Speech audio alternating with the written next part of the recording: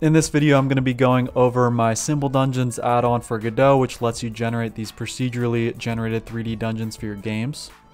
I got sent two games that people are creating using this add-on, and I also added a bunch of new features recently, which I'm going to go over here.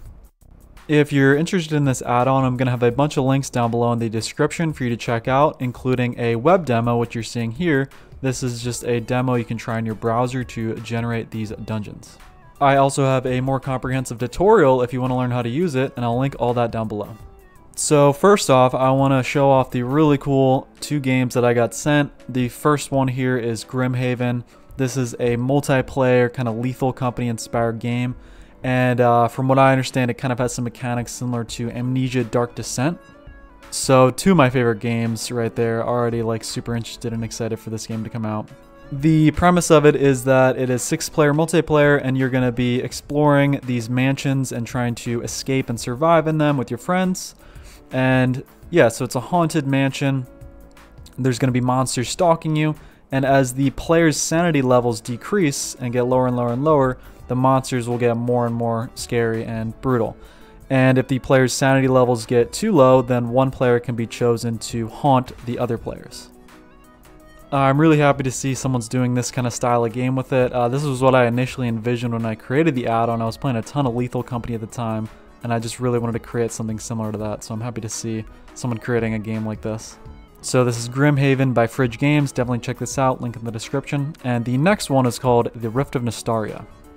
This one has a really cool vibe. I really like the demo that I got sent for this one. Um, it is a dark fantasy life simulator and has a twist, like basically instead of the normal RPG tone where you're this like hero trying to save the world, it's more you're just a normal person in this world just trying to survive. It's been really cool to see what people are creating with my add-on and I didn't expect to get this much like interest in it and people actually making games with it, so I'm really happy to see that. So yeah, super excited to play both of these games when they come out. The links for the YouTube and Twitter for both of these games in active development will be in the description, so definitely check that out if you're interested. And yeah, that's the two games, really cool. And now um, I want to show like all the new stuff I added uh, to make this add-on better um, and more usable for people to create games like that. So this first one is just showing the multiplayer example. So I try to make it as easy as possible to use this to create multiplayer games. So I'm just running two game clients side by side, um, connecting to my local host machine, hosting the server on there.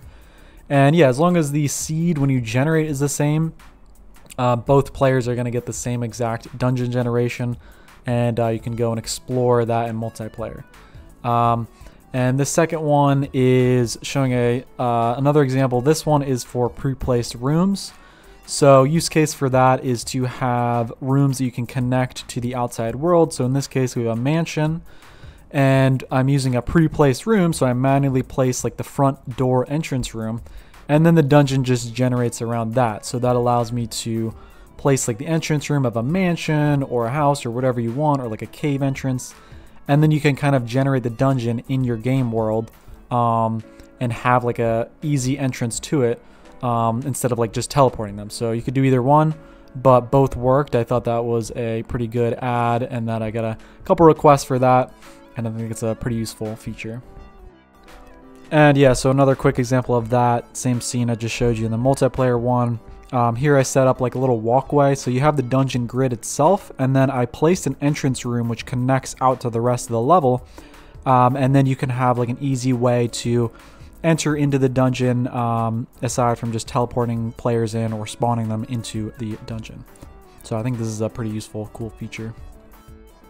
Next up, here's a, another feature I got a bunch of requests for and this is custom room placement. So this allows you to supply a custom function that allows you to choose the exact position and rotation of all the rooms in your dungeon. So in this case, I'm putting uh, blue rooms on the left side and red rooms on the right side of my dungeon.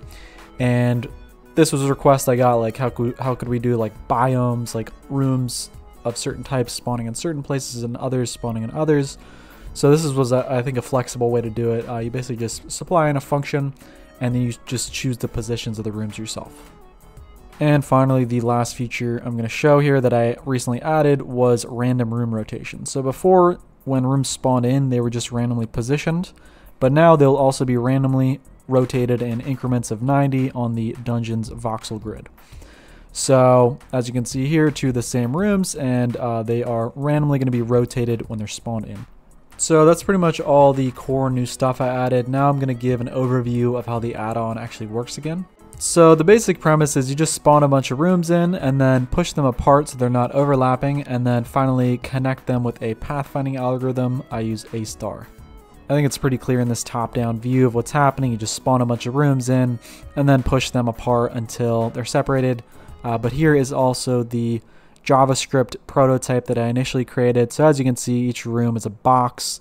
Spawn a bunch of them and uh, you push them apart when they're red there. That means they're overlapping. And I just repeatedly push them apart until they're all separated. If it fails to fully separate or connect all the rooms, you just restart the uh, generation algorithm. And it might take like a couple tries. Sometimes it, it can fail, but after like the second or third try, it should work. And I also made a prototype of the 3D version of the algorithm, and it's actually not too complicated to go from 2D dungeon generation to 3D. The main addition here is just adding a phase of connecting the different floors with stairs. Otherwise, you can basically just treat it as the same problem as the 2D dungeon generation.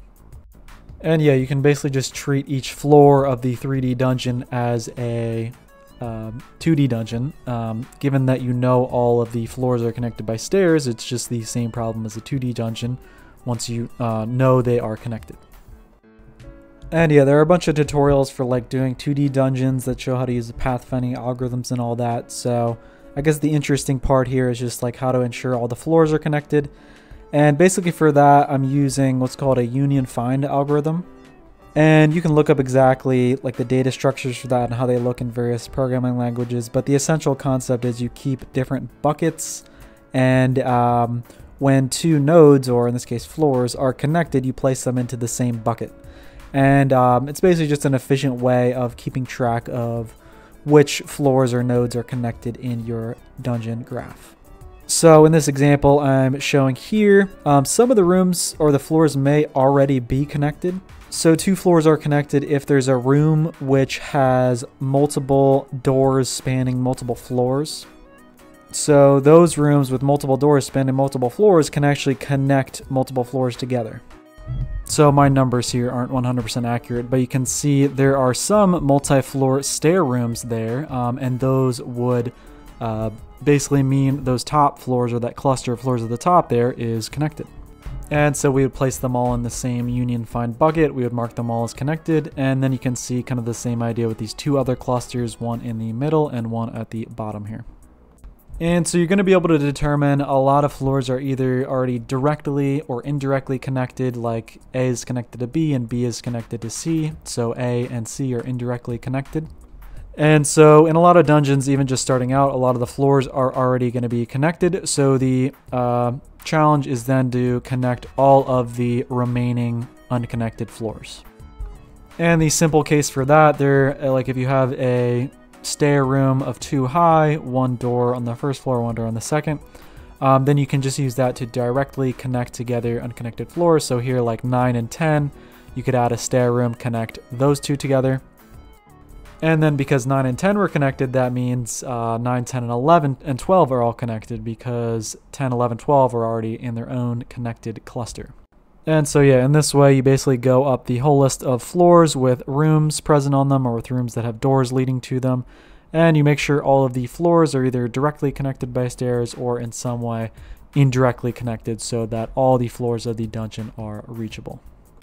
And one part I did kind of gloss over there that makes it a little bit more complicated is there can be a case like this right here where two rooms like you can't directly connect their floors together with stairs. There's like like if the stair only connects one floor up, if you have a gap of two, um, you have to find like a chain of stairs that connects both of those two floors. And it's not particularly elegant, but I just came up with this um, heuristic algorithm function thing to do that. Um, like when there are two unconnected floors and there are no floors directly able to be connected, it just uses this function to find some composition of stair rooms to use to connect multiple floors up if you can't directly connect them, if you need to like combine multiple stair rooms to make a connection. So that's what I use for that. And so yeah, one more notable thing to add that I added to the add-on was a lot better like debug info and in editor information that you can see while you are creating the dungeon rooms. So I added a lot of notifiers like this so like you can see where the doors are on your rooms. And I mentioned before like everything's on this voxel grid. You can actually easily see the uh, like voxel size of your rooms. I added a lot better debug info for that. So like um, you can see if I increase the size in voxels here. Um, this is the living room room. It uh, like increases, gets wider, and uh, like it'll tell you if there's an error. Like I have these dungeon room doors, and obviously you can only have doors on the outside of it. So when it calculates like the door positions, make sure they're valid, and if not, it'll give you an error. And same with like the actual dungeon generator grid, like uh, it'll show clearly this kind of 3D voxel grid, which the add-on is going to use to generate the dungeon on and place the rooms. And then like for pre-placing them too, um, there is some more clear representation. You can see the doors and everything, and you can see how it fits in. And um, like if you're to move them around, you can pre-place them on the grid and then just click uh, force align with grid, and then it will make sure your dungeon room is aligned with the uh, 3D grid in the editor. So in this way, you have this voxel grid that you can kind of easily see and position in your levels with a lot of debug info. And then, um, like for example, if there's some error, add a lot of uh, debug info for errors at the top of it. Like you can see here, saying that there are no rooms added and it will kind of guide you through the different process of using the add-on. So hopefully a lot of the debug info is helpful that I added in there, and that's one of the most notable things I added um, last.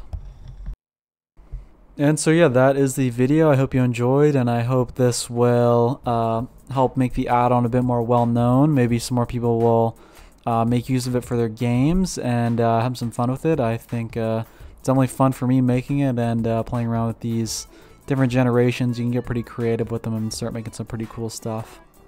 To learn more about it, definitely go check all the links below in the description. I'm going to link like the GitHub. I also did a more comprehensive, longer tutorial on it, which I even went over like a description of some of how the source code works if you're interested in that. And then, of course, you can um, always ask any questions down below. I'll do my best to answer them if you want to try this demo that you're seeing on the screen right now where you can generate these dungeons and then spawn the player into them to run through them. Uh, I've actually created a web demo version of this that you can play in your browser. Probably only works on desktop, but definitely go check that out if you want to try it. And then, uh, yeah, all the other links as well as this demo will be down in the description below.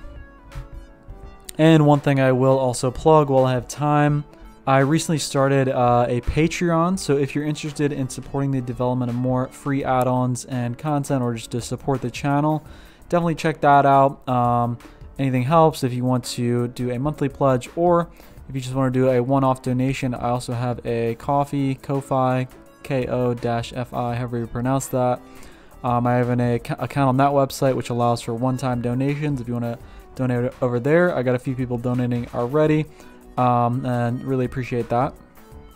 And so, yeah, thank you for all the support.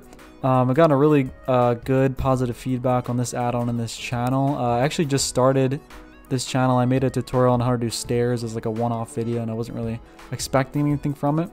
And uh, yeah, now that video has like 12,000 views, so pretty cool to see uh, how everyone's interested in what I'm creating here.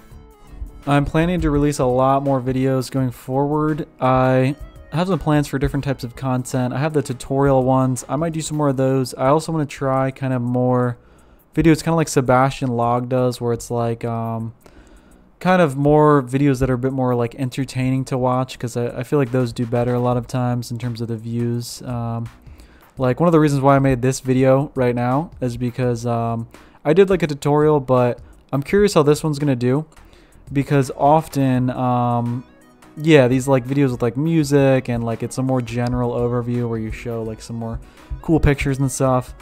They do better than like the tutorials. It seems like I've found a lot of times, um, or at least that's the pattern I'm seeing so far. Like the most viewed video uh, as the time I'm speaking is 31k views and it's like the other procedural dungeons video and it's kind of like a broad overview. It still goes into some technical stuff like I did in this video, but yeah, I'm just experimenting with kind of different video types. Uh, yeah, if you have any ideas, maybe leave them in the comments. Um, I'm curious to see, uh, you know, what people think of the different kinds of videos. Um, definitely going to be testing multiple different types and just see what works. But yeah, the next ones I'm planning to release are kind of probably more like general overview videos like this, like building some um, add-on or just like building a part of a game and then kind of doing a technical overview on it and kind of giving a cool explanation with like visuals and whatnot, trying to be like kind of entertaining. I feel like people like those a lot. I've gotten I got really good reception on the prior one. Um, and then I also might do some tutorials in the future as well. I'm just gonna try to you know experiment with different things and see what works best. Um, but yeah, I'm planning a lot more videos, so definitely stay tuned and uh, rate, comment, subscribe, and thank you for watching. And I hope you enjoyed the video.